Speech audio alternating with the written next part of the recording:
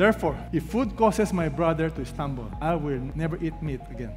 Can you see what true love is? You limit your freedom for the sake of others. Just because I'm free to do everything does not mean I'm going to do it.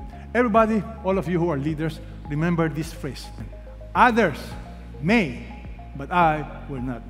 I will limit my liberty for the sake of God's kingdom.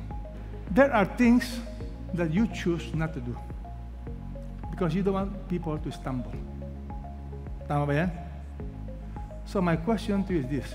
What are you doing now that is causing your family members to stumble? You know, Jesus gave us a warning. That warning is so scary.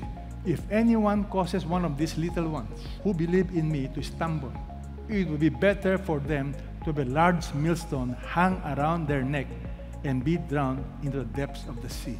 You know how children stumble when they see hypocrisy.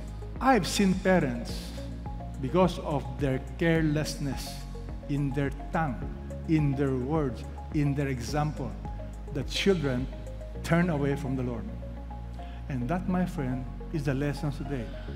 When love is hard, you need to be intentional. I want to watch my life. I don't become a stumbling block.